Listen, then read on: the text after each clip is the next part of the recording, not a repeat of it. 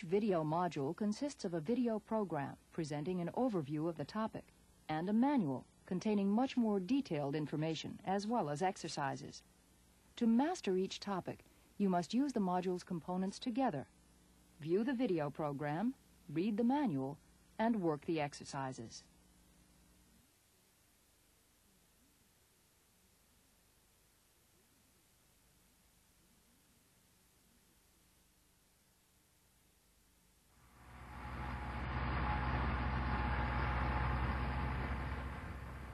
In the preceding video library module, we talked about cements and cementing practices. A continuous, competent sheath of cement around the casing is very important to the safe, efficient production of oil and gas from our well. Now comes the next important step, selectively opening those zones we wish to produce by perforating the casing, cement, and the formation. Perforating is not just a matter of punching holes in the casing. If our well is to achieve its potential, those holes must be deep enough to reach past any formation damage caused by the drilling and cementing process. They must also be of sufficient number and arrangement to allow the formation fluids to flow into the wellbore unhindered. They must be unobstructed by mud or debris and finally, they must be in the right position opposite the zones we have identified as productive prior to setting our casing. Accomplishing these objectives in a safe and cost-effective manner is the goal of any perforating program. Poor perforating practices can easily make a 200 barrel of oil per day well out of a discovery with perhaps 2,000 barrels of oil per day potential. Good perforating practices can help us maximize the value of the hydrocarbons we've found. In this module, we shall first outline the basic perforating options available to the engineer. We shall find out that achieving the objectives just mentioned may require a few compromises, with the exception of safety, which should never be compromised. We shall also take a look at the work that has been done to relate perforator performance to well productivity the final measure of our success. And we shall follow the progress of a perforating job, taking a close look at each important procedure. First, let's look at just what perforating options exist. Cased holes may be perforated in several ways. Using conventional casing guns run into the well on electric wireline through wireline pressure control equipment using through tubing guns run into the well after the tubing has been installed, or using tubing conveyed perforating guns run on the bottom of the tubing string and detonated using mechanical, electrical, or pressure-activated firing mechanisms. With each of these delivery methods, there is an option of perforating. Overbalanced, with a higher pressure in the wellbore than in the formation, or underbalanced, with a wellbore pressure lower than formation pore pressure. Also, the delivery system for placing the shaped charges at the proper location via wireline may be categorized as one of three possible types. Retrievable, consisting of a cylindrical hollow steel charge carrier, which is retrieved after firing and may then be discarded, as in the case of scallop guns, or reused several times, as in the case of port plug guns semi-expendable, in which case the perforating charges are conveyed into the well on a retrievable metal or wire carrier. Or fully expendable, where the charges and carrier linkage disintegrate on detonation, and only the wire line is retrieved. Generally speaking, the larger diameter casing guns run via wire line will carry larger charges and thus give larger perforation diameters and greater penetration depths than the smaller through tubing guns. Through tubing perforating, however, is a more practical method for underbalanced perforating than using conventional casing guns, and underbalanced perforating can help maximize productivity. Tubing conveyed perforating seems to provide a means to combine both the larger high-performance guns with the flexible pressure conditions. So we see that in considering just these perforating features, wireline versus tubing conveyed, overbalanced or underbalanced, retrievable or expendable guns, we already can come up with at least a dozen different useful design combinations to choose from. All this is without yet considering the variety of shape charges available. Let's look at how a shape charge functions. The shaped charge, or jet perforator, first came into use in the oil field in the 1950s, following the development of explosive technology during the Second World War. The four important components of the shaped charge are the conical metallic liner, the main explosive charge, the primer explosive, and the case that encloses the charge. Simply stated, the firing is electrically initiated by the detonator or blasting cap via the detonating cord, which in turn sets off the main charge. Explosive pressure on the metal liner causes it to collapse inwardly along its axis, forming a high-velocity jet of fluidized metal. Moving at a velocity of 25,000 feet per second and with a pressure of 15 million pounds per square inch, the jet displaces the casing, cement, and formation, creating a perforation in only several hundred microseconds. Depending on the design of the shaped charge and the type of materials being perforated, the perforation length is generally about 2 to 20 inches, 5 to 50 centimeters, and the entrance hole diameter about 0.2 to 1 inch, or 0.5 to 2.5 centimeters.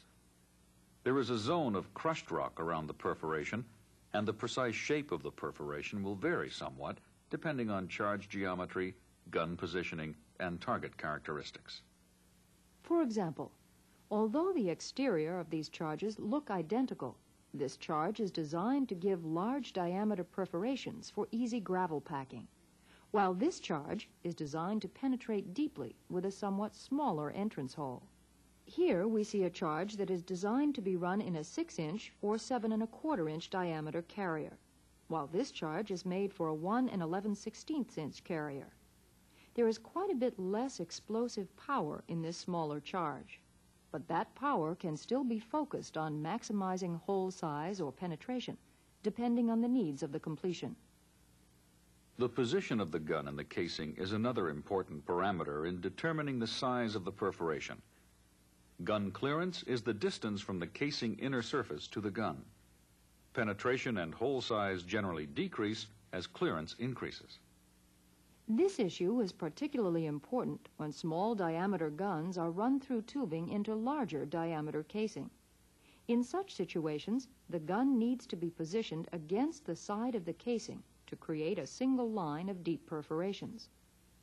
This arrangement, called zero-degree phasing, may introduce an undesirable pressure drop in high-rate wells. Phasing the charges at 60, 90, 120, or 180 degrees would reduce this problem, but at the price of reduced penetration and hole diameter when using through tubing guns. The third most important factor in shaped charge performance is the strength of the target material. For example, a charge that penetrates 5 inches into the Berea sandstone target shown here will only penetrate 2 inches in a much stronger sandstone. In deep reservoirs where the formation effective stress is great, the penetration depth may be much less than surface tests indicate, and this factor must be considered when choosing a perforator. Charge performance is also affected by the quality control applied during its manufacture, where precise control of the liner and charge dimensions is critical. The care with which the charges are stored and transported is also quite important. Charges should be stored in sealed boxes until ready for use. Correct alignment of the shaped charges within the charge carrier, whether it be a semi-expendable strip carrier, a port plug gun, or any of several types of scallop guns, is a very important final step in the gun assembly process. The added cost of quality control in manufacture and assembly is a wise completion investment. We mentioned the three categories of wireline perforation systems, steel hollow carrier guns, semi-expendable guns, and fully expendable guns. Let's take a look at some of the advantages and disadvantages of each option. In the case of retrievable hollow carrier guns, the charges are positioned and sealed within a steel cylinder, surrounded by air at surface pressure. Each charge is aligned with a threaded port plug in reusable guns, or behind a thinner portion of the carrier wall in scallop guns. Semi-expendable guns typically consist of a series of individually sealed charge cases designed to disintegrate after firing, leaving only the carrier strip or wires to be retrieved. In the case of fully expendable guns, only the wire line remains to be retrieved. The advantages of retrievable hollow carrier guns include high reliability because all components are protected within the carrier heavier and stronger construction than expendables, permitting rougher treatment and faster running speeds. Generally higher temperature and pressure resistance. Very little debris left in the well. Retention of the explosive force within the carrier, eliminating casing deformation. A positive indication of firing, provided by the condition of the port plug. On the other hand, even small diameter retrievable guns may have trouble running inside crooked tubing because of their rigidity. The carrier takes up more space and the charges may have to be smaller than comparably sized expendable guns, and the weight of the gun assembly may limit its length and thus the interval that can be perforated on a single run into the well. Considering expendable guns, we can say that they are generally cheaper and easier to assemble are somewhat lighter and more flexible than hollow carrier guns, and size for size generally offer more penetration than comparable retrievable guns that can be run in the same size tubing. However, expendable guns can deform casing when detonated, leave substantial amounts of debris in the well, and are generally not as sturdy, leak-proof, and resistant to pressure and temperature as retrievable guns. The typical sizes and specifications of casing guns and through tubing guns are detailed in your manual. In designing a perforating program and choosing a perforator, the engineer must consider the relative importance of hole size, penetration, and shot density. The size of the completion tubular components and the extremes of pressure and temperature are also important to the choice. For example, we may be convinced of the need for perforating underbalanced and through tubing in a given situation.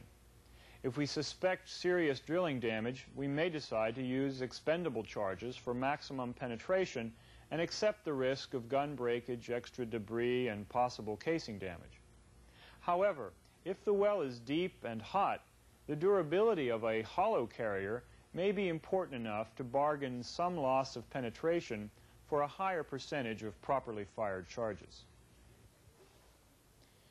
Each situation requires careful consideration of the alternatives. Making such decisions requires that we be able to test commercially available charges and compare their performance, then extrapolate that performance to downhole conditions and its effect on actual well productivity. Currently, the industry relies on standard testing procedures developed by the API for evaluating well perforators. These procedures include a surface field test carried out in casing cemented within a concrete drum and a laboratory test carried out using a Berea sandstone target placed inside a special core holder designed to permit flow through the perforation. These tests do not duplicate bottom hole well conditions precisely. So the data on perforation dimensions and cleanliness are not always useful in an absolute sense. However, if the tests are carried out correctly, the results can be used in a relative sense to compare commercially available charges. Examples of the API test data recording forms are shown in your manual along with a summary of the API tests themselves. But the true effectiveness of any perforator is measured in the well's productivity. Attempts to determine the relative importance of perforation parameters on well productivity have led to the development of mathematical models to simulate perforations. As these models become increasingly sophisticated, more is learned about perforation behavior. Through this research, which is discussed in your manual, we can now make some qualified generalizations about the relative importance of the four basic perforating parameters. Shot density, or number of shots per unit length, penetration, hole size, and phasing. For example, high shot density is considered of greatest importance in anisotropic or laminated reservoirs. Penetration is less important than shot density when drilling damage is minimal. However, in deep damage situations, it becomes critical. Some type of angular phasing is important when high rates are expected, but generally speaking, phasing should not be gained by sacrificing penetration. Hole size is relatively unimportant beyond a minimum of 0.25 inches unless the well must be gravel packed or fractured, in which cases hole size is very important. We should emphasize that obtaining an adequate shot density not only requires that the appropriate number of charges be run into the hole and that they fire correctly, but that the resulting perforations remain unobstructed and open to flow. The effective shot density depends on the type of formation, the quality of the charge, the type of completion fluid, the magnitude and direction of differential pressure, and the flow time allowed for cleanup. The type of formation will influence the depth of the perforation and the degree of rock crushing. The charge quality will influence the uniformity of the perforation tunnel and the type of debris that must be removed. Most importantly, positive pressure perforating can result in plugged perforations. Even though subsequent swabbing may remove some plugging, other perfs will remain plugged once a few perforations are open. If clean, solids-free, formation-compatible fluids are used when perforating overbalanced, the degree of damage can be decreased. However, reverse pressure or underbalanced perforating can greatly enhance perforation cleanup. Excess underbalance can also lead to problems. Sanding of the well, migration of fine plugging particles through the formation, or on rare occasions even casing collapse. Several researchers have suggested underbalance ranges for different permeability formations and different formation fluids, and these are given in Section 2 of your manual. In any case, a volume of fluid should be flowed from the well after perforating to remove perforating debris and improve the condition of the crushed zone. Wells should not be injected into before they have been given a chance to clean up. There are several techniques for achieving a high effective shot density. Underbalanced through tubing wireline perforating, underbalanced tubing conveyed perforating, positive pressure perforating with reverse surging, and positive pressure perforating with perforation washing. In through tubing perforating, the tubing and packer are run and set in the cased unperforated well. Pressure control equipment is installed and tested. The gun assembly, including the charge carrier, weights, positioning tool, and collar locator, are run into the tubing on a single conductor cable. After firing, the well is typically flowed for 15 to 30 minutes before the gun and or cable is recovered. It is important to design the degree of underbalance to prevent blowing the cable up the hole due to frictional forces imposed by the flowing cushion fluid. With tubing conveyed perforating, a hollow carrier gun is run into the well on the tubing string. The tubing may be run dry or partially filled with a fluid cushion to establish the proper level of underbalance. The packer is set and a vent is open to equalize the pressure below the packer with the tubing. The gun is fired using mechanical, electrical, or pressure activation, and flow is immediately established through the vent. The gun may then be dropped into the rat hole for full-bore flow. Compared to through tubing perforating, we can say that tubing conveyed perforating, one, allows greater penetration and multiple phasing because larger guns can be effectively centralized by virtue of their size. Two, permits a greater degree of underbalance without risk of blowing the gun up hole. And three, may be the least expensive option in cases where significant rig time is saved, although the equipment and service may cost more. However, because the gun is usually not retrieved, we can never be positively certain of individual charge detonation, as with wireline conveyed guns. Good charge quality control should reduce the risk of misfires in either case.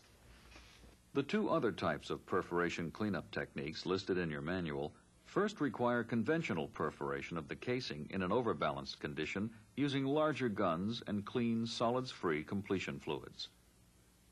Then, in the case of the perf surge technique, an underbalanced tubing string is run into the well and set with a packer. When a shear disc within the tubing string is ruptured, the perforations are subjected to a sudden surge of drawdown, expelling any debris that may be present due to the overbalanced perforating. In the perf wash technique, the conventionally shot perforations are washed using a cup assembly that forces clean fluid into one set of perforations and out of another. Generally speaking, tubing conveyed perforating is more consistent in obtaining clean perforations, followed by the perf surge and then the perf wash techniques. In your manual is a discussion of the important points to be observed when perforating for gravel packing and for fracturing.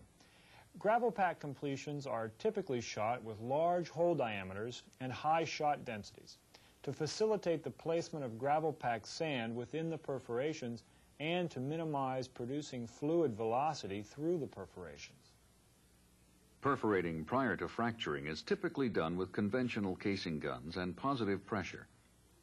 Phasing of the perforations may increase the likelihood that the perforations will come close to aligning with the azimuth of formation fracture.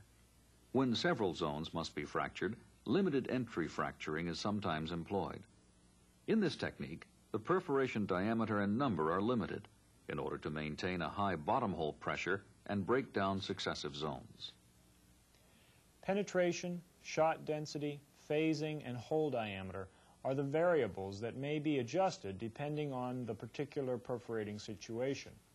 Generally speaking, a technique that ensures the maximum number of open perforations extending beyond any damage is the best alternative for a natural completion. When fracturing or gravel packing is to be undertaken, perforation diameter becomes important. In the next unit, we shall follow a perforating job as it is performed. For now, please read sections 1 and 2 in your manual and work the appropriate exercises.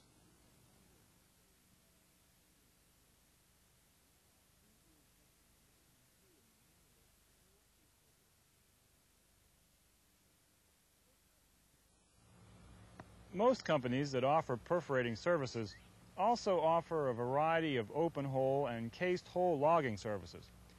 And much of the basic equipment is the same. The equipment includes the perforating tools themselves, of course, the cable, the sheaves, tension indicator, the logging truck, including a cable winch and electronic control panels, and the pressure control system. The tools include a casing collar locator run above the perforating guns, which magnetically detects the position of each casing collar as the tool string is pulled up the hole.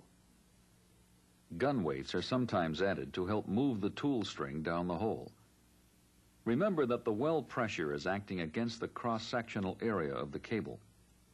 For example, a common cable size of 7 32 of an inch would need a tool string weight of 190 pounds to exactly offset the force exerted on the cable suspended in a well with 5,000 psia at the surface.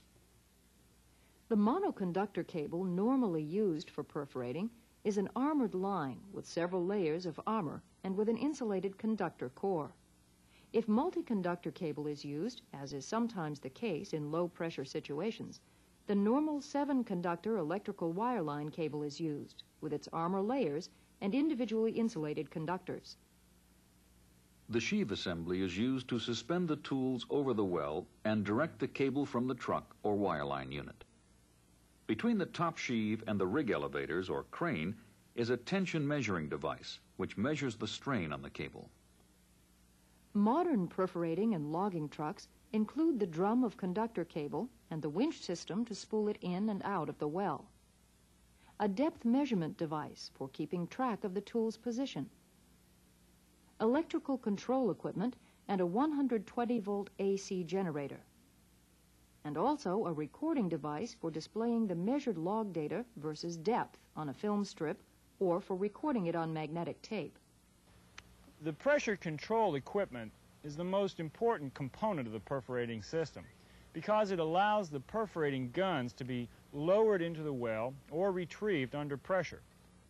The assembly consists of a blowout preventer, a riser pipe to contain the perforating tools, a flow tube assembly, and an upper seal or stuffing box. When closed, the blowout preventer seals tightly around the cable, preventing pressure from communicating around the cable with the riser. The riser pipe consists of pipe sections with quick connect couplings. These couplings are designed to let the internal riser pressure work to maintain the coupling seal. The flow tube assembly provides the offsetting force which prevents well fluid from flowing out of the riser. When cable is moving into or out of the well under pressure, grease is continuously pumped into the small annular space between cable and flow tubes. Because the space is so small, the force required to offset the well pressure can be easily applied.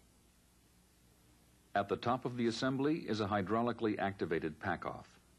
The hydraulic pressure compresses a rubber packing ring around the cable in an emergency to prevent cable movement and seal up the assembly. In normal perforating situations, the pressure control assembly is either bolted to the blowout preventer stack of a drilling rig or bolted to the top flange of the tubing head or Christmas tree in through tubing perforating. The equipment is pressure tested after it's installed. After taking the necessary safety precautions to prevent stray currents from accidentally detonating the charges, a voltmeter is used to check for voltage between wellhead and truck. The casing, rig, and truck are grounded together, and the unit power sources are turned off.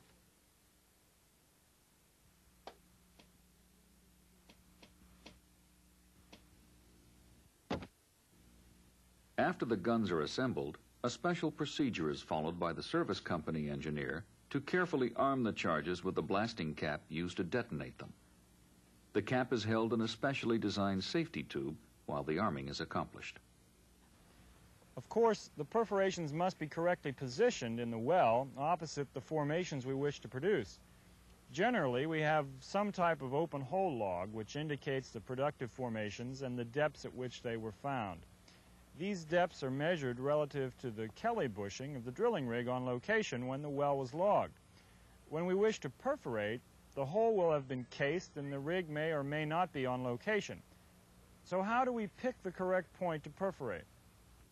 Normally, we first run a cased hole log such as a gamma ray or neutron log, along with a casing collar locator.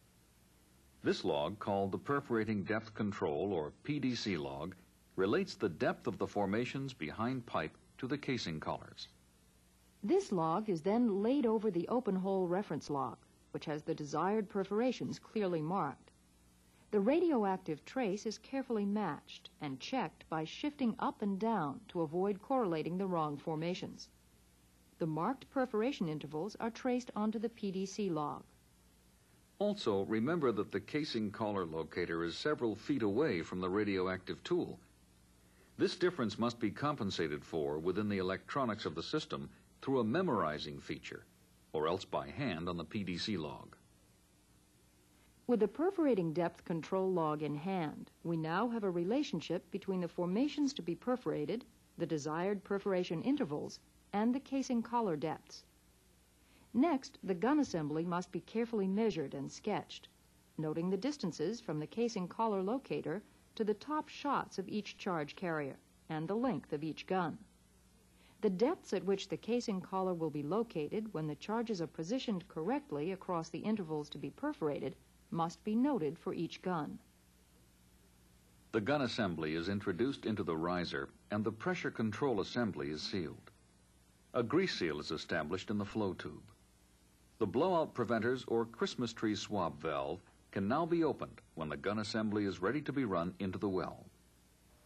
Now, in order for the guns to be positioned correctly across from the intervals we wish to perforate, we need to correlate the casing collars measured by the gun assembly with those on the PDC log.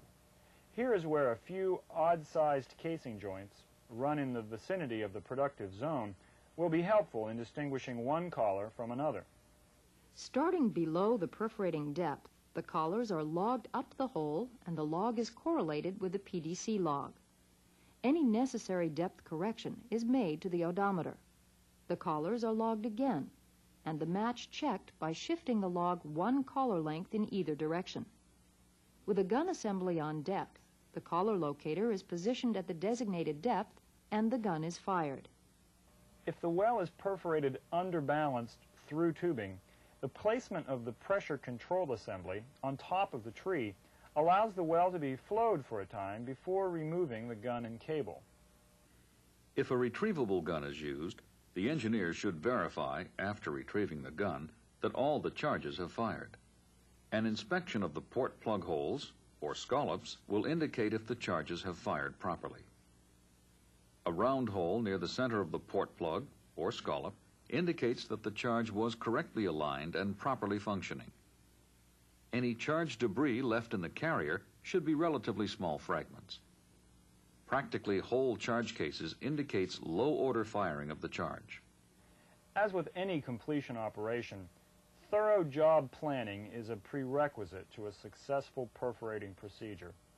And the first step in planning a perforating job is to accumulate the necessary data. Of primary importance is information on the well tubulars, specifically casing or liner size and weight, tubing size and weight, packer type and pressure limits, wellhead connection, and pressure test specifications for tubing, casing, and wellhead. Other conditions that must be specified or estimated include expected bottom hole temperature, formation pressure and bottom hole pressure desired, formation and wellbore fluids, fluid levels in tubing or casing, surface pressures, pressure and rate limits for surface facilities, and the need for H2S equipment, if any. Of course, the open hole log used to pick the perforating intervals will be needed, with the intervals clearly marked and the depths recorded. The order in which multiple intervals must be perforated is also important. Your manual has some additional suggestions on choosing a perforating service company and ensuring good shape charge quality. Be sure to read over these points in Section 3 of the manual. For now, let's take a look at another perforating alternative, tubing conveyed perforating. The primary advantage of tubing conveyed perforating is that it provides a method for combining the high performance of large guns with the opportunity to perforate highly underbalanced. This method also allows long pay intervals to be easily perforated because gun length is not constrained by weight or riser height. And highly deviated wells are easily perforated in this manner, since the guns are pushed down the casing. The basic tubing conveyed perforating assembly includes steel hollow carrier guns, a firing head operated by mechanical, hydraulic, or electronic means, a production vent to permit flow into the tubing below the packer after firing, a gun drop sub which permits the release of the gun assembly into the rat hole, a production packer, and a radioactive tag sub, which permits a through-tubing gamma ray to precisely position the assembly. The firing system may be any of several types. A drop bar system, where a steel bar is dropped down the tubing and strikes a firing pin. A hydraulic firing system where annulus pressure is transmitted to a firing head, a wet connect system which utilizes an electric wire line run through the tubing, or a battery drop, which combines the drop bar technique with a battery to provide the electrical firing impulse. The procedure for running a tubing conveyed perforating system is as follows. First, the guns are assembled vertically in the derrick. Followed by the firing head, or heads if a backup system is used. Next, the vent or production valve.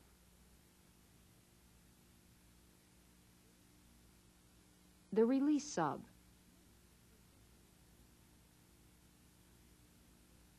And the retrievable production packer are then added unless a permanent packer is already in the well. In this case, the correct length of sealing elements is added. The entire assembly is lowered into the well and positioned. The packer is set and the proper degree of underbalance established before the guns are fired.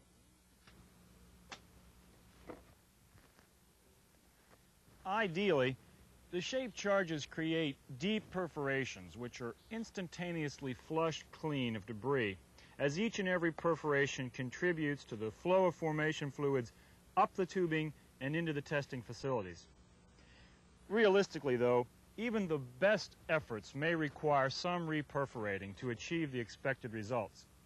But determining if the newly perforated well is performing up to expectations requires some test data to assess the efficiency of the completion.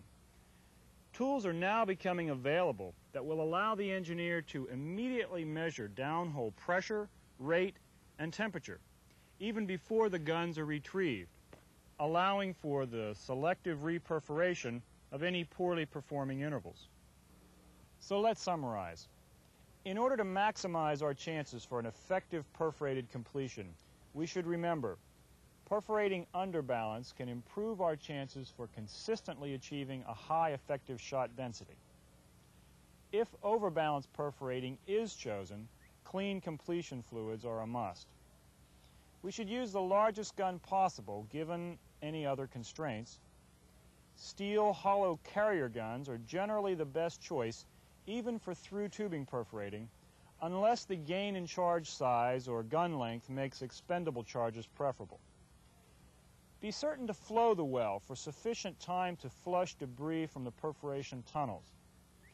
Insist on good depth control techniques and carefully document all perforating activities. Choose a perforating company with a good record of quality control and safe operating practices. In the next module of the 300 series, we shall consider another important completion activity, acidizing. But for now, please read sections 3 and 4 in your manual and work the appropriate exercises. Good luck.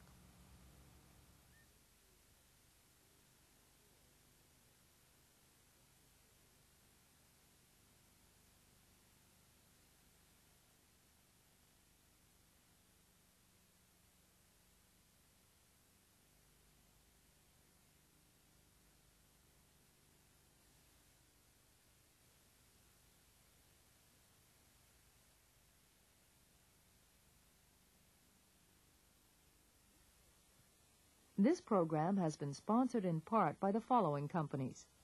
Agip, Aramco, Chevron Corporation, Mobil Oil Corporation, OxyCity Service Oil and Gas Corporation, Petro-Canada Incorporated, Phillips Petroleum Company, Schlumberger Limited, The Shell Companies, Texaco Incorporated.